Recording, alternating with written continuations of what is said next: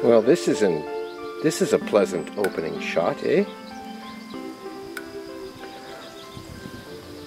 Alpaca beans.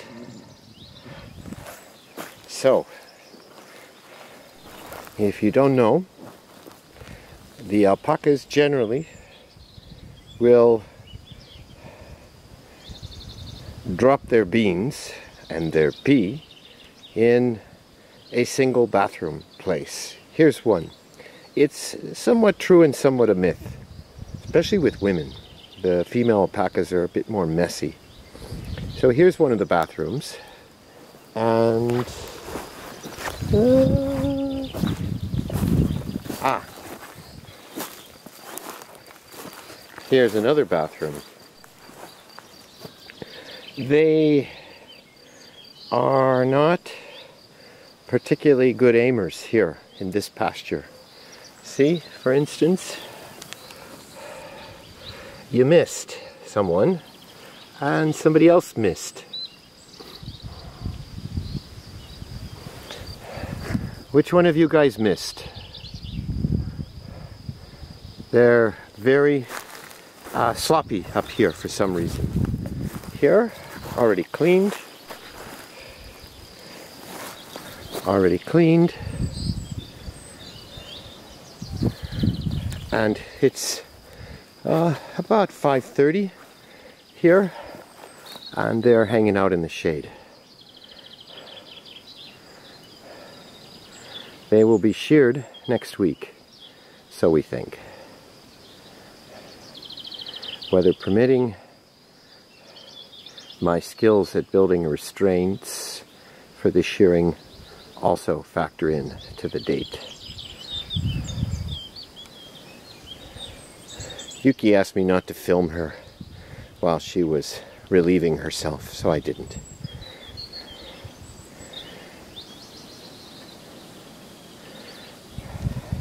I respected your wishes, Yuki.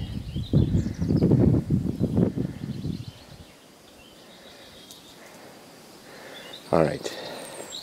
Here's another bathroom, just about 10 meters away from the others I showed you. Here, the aim is much better. And they have another bathroom here too, just three meters to the right.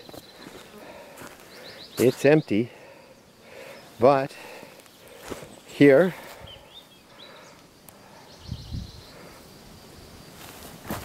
here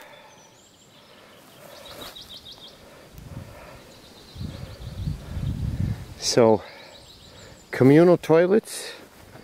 Yes, sort of.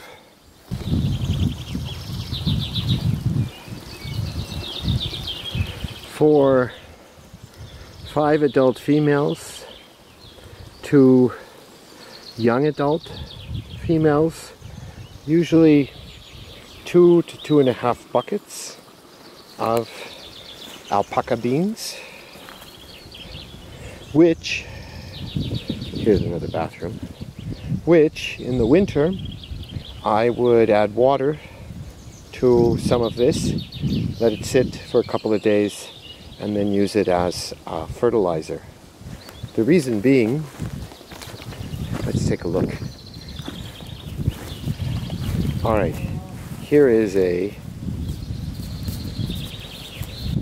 a bathroom, a communal bathroom notice there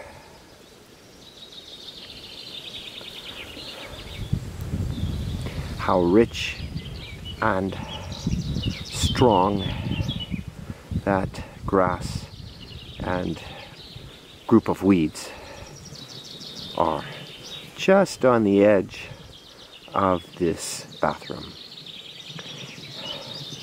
You will see this in almost every one of their bathrooms that the edges are lush, crazy lush, meaning one thing or two things or more. One thing it means is that this is great fertilizer. Two, it shows me that our soil is mediocre at best because with a little bit of, uh, or a lot, of alpaca excrement, excretions, poop and pee. Um, the grass goes crazy. It's beautiful. In the other pastures, it's even dark green compared to the rest of the pasture. So, in the winter especially, I will leave a quarter bucket or less of beans, fill it full of water, let it sit for a couple of days, and then throw it in some of the uh, more bold spots in the pasture.